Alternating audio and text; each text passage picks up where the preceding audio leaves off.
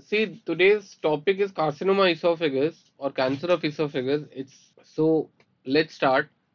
So my uh, lecture will be very brief on these subheadings: introduction and epidemiology, anatomy and histology, natural history and patterns, risk factors, neoplasm of esophagus, genetic alterations, uh, etiology, clinical workup, staging, surveillance. I may skip a few if I feel it's getting too didactic or a little boring, but trust me for you, uh, you don't need to know this topic in so much of detail. You should just know what are the basic tenets of treatment of CA esophagus, and that's it is a treatable disease if presented within if it's presented up to stage 3 it's a treatable disease it's a curable disease so it's the uh, one of the most common malignancies seven most common in the world fifth most common in india and uh, uh, male to female it's more common in males adeno uh, squamous cell carcinoma the most common more common form than adenocarcinoma squamous cell in india you will get to see more of squamous cell carcinoma as compared to the western world because uh, where they get to see adenocarcinoma which is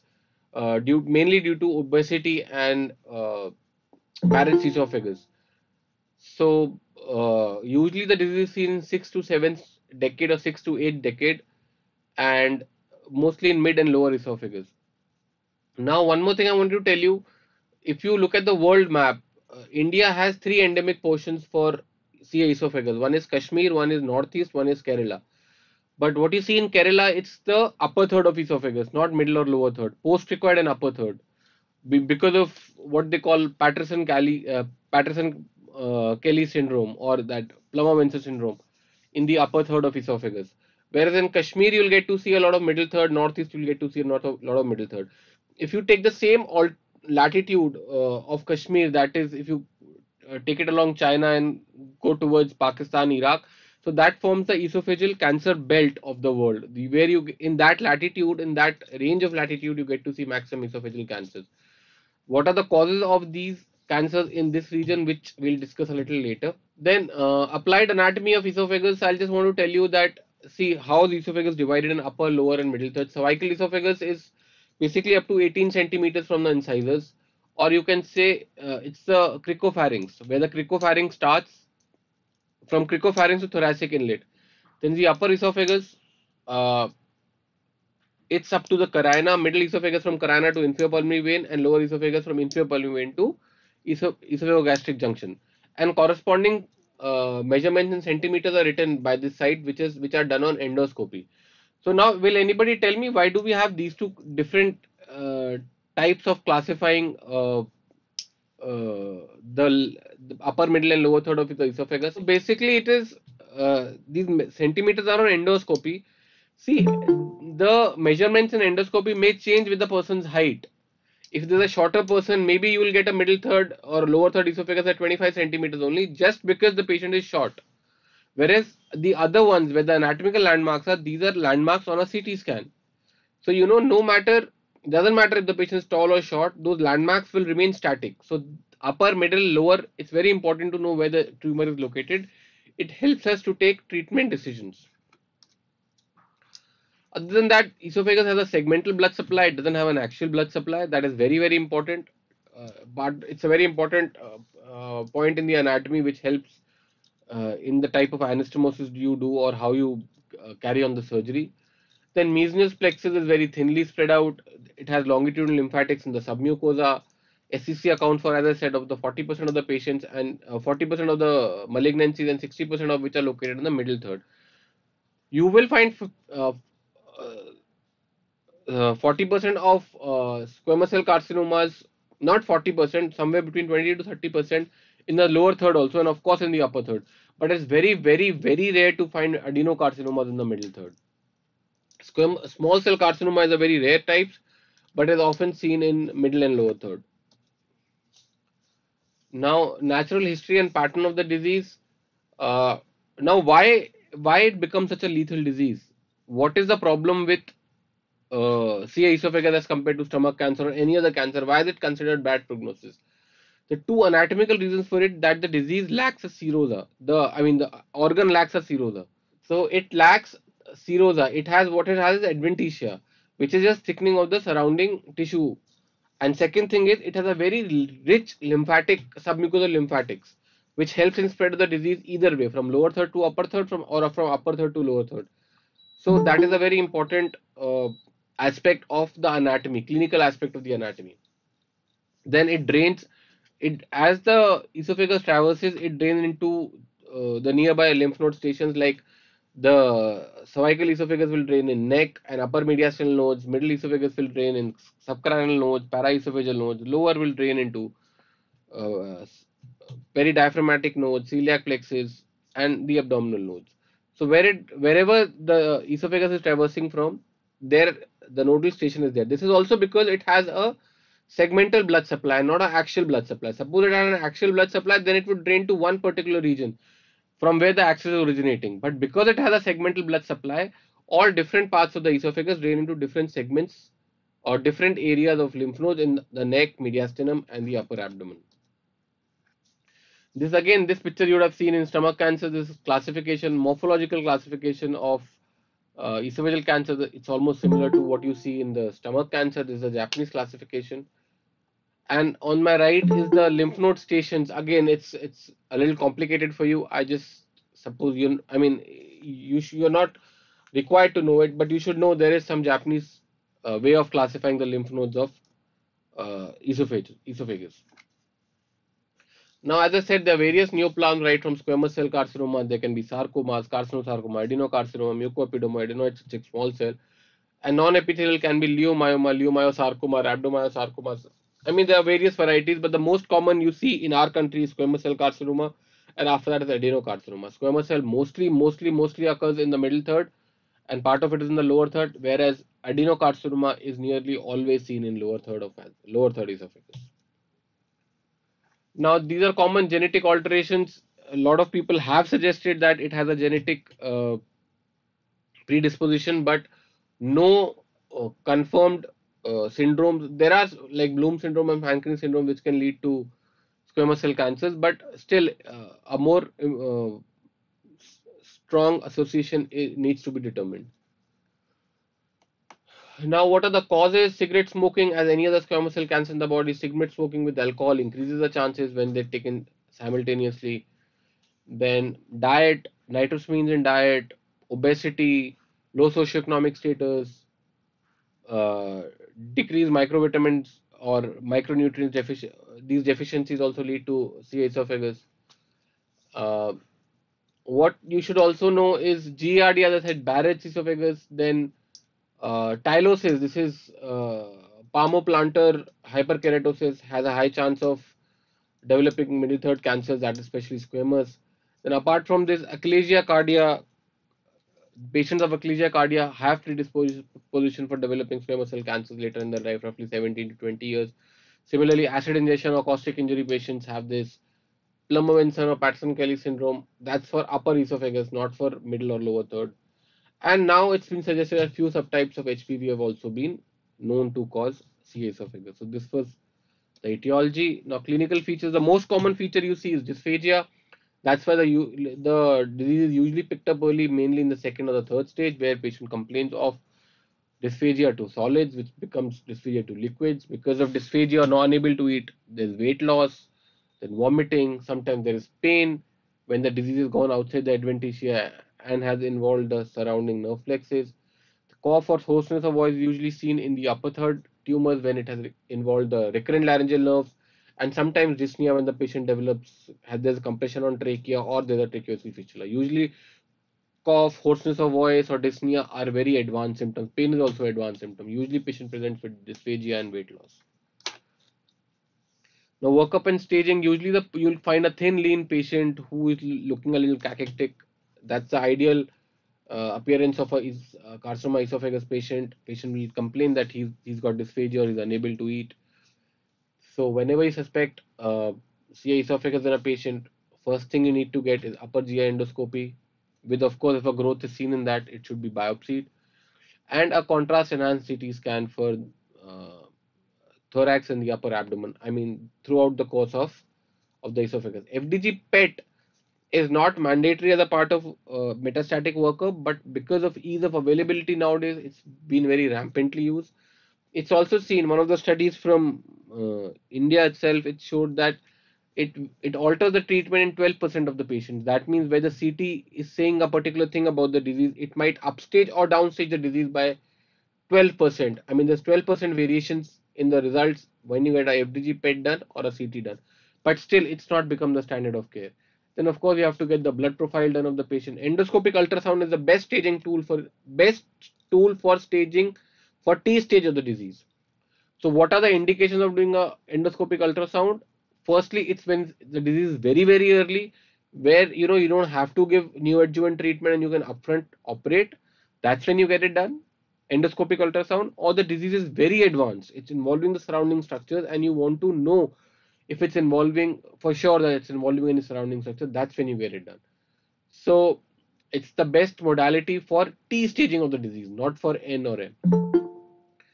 And then endoscopic resection for early stage cancers but uh, i mean i won't call it as a part of workup but yeah in a lot of uh, lot of centers are doing this nowadays. Uh, one more point i would say that barium swallow is outdated for doing it in CA esophagus now. Now i mean it was done previously but with better endoscopy techniques and everything it doesn't tell us anything more than uh, upper GI endoscopy what upper GI endoscopy tells us other than that, the problem with barium meal or barium uh, swallow is that barium stays in the GI tract for quite some time and you are unable to do a CT scan because it produces a foreign body artifact.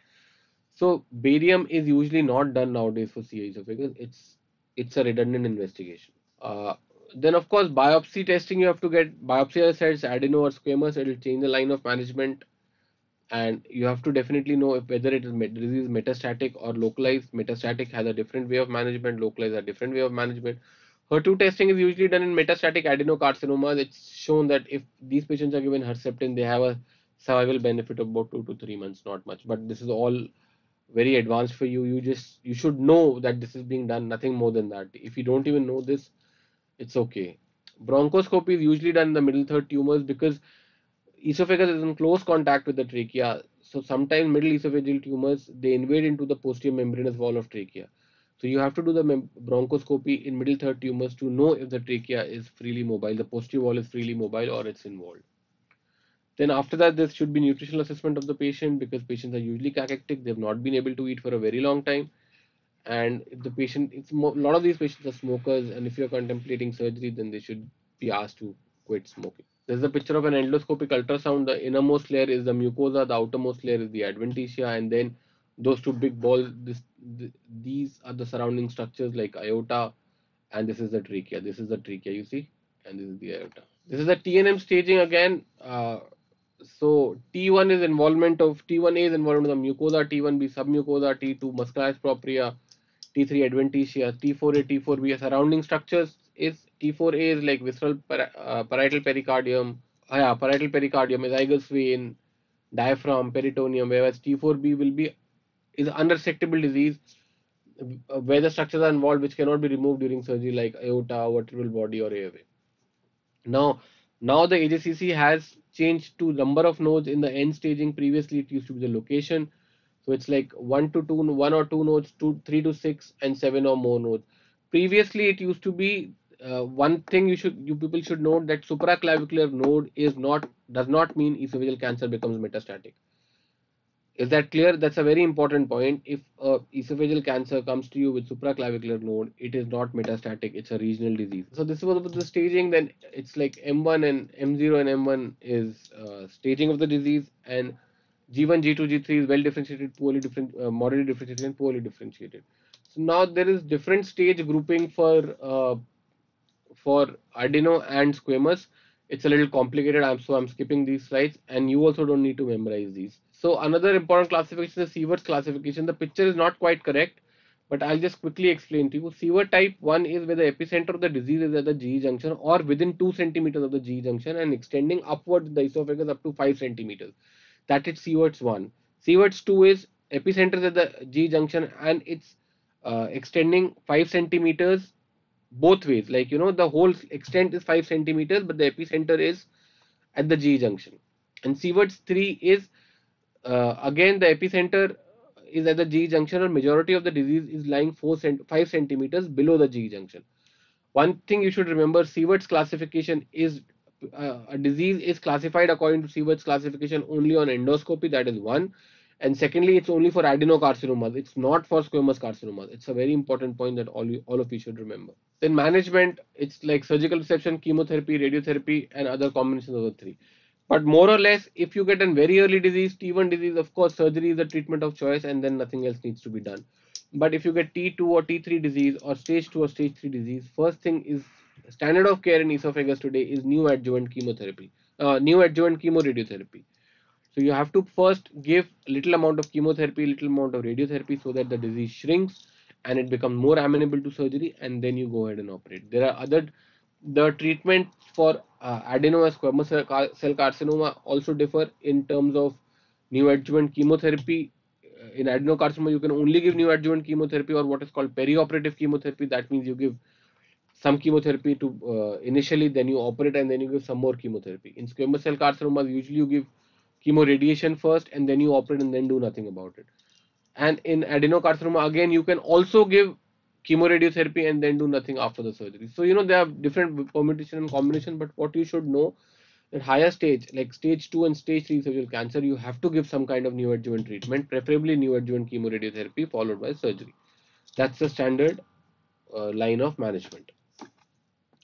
So what are the surgical approaches? Ivor Lewis, McKeown's, transhiatal. So Ivor Lewis is you keep a midline abdominal incision and you keep a right side thoracotomy. You start with the abdomen first, mobilize the stomach, put it up in the thorax, and then open the thorax and take the stomach tube up, excise the tumor, take the stomach tube up and do the anastomosis. Whereas in McKeown's, McKeown is also called three stage.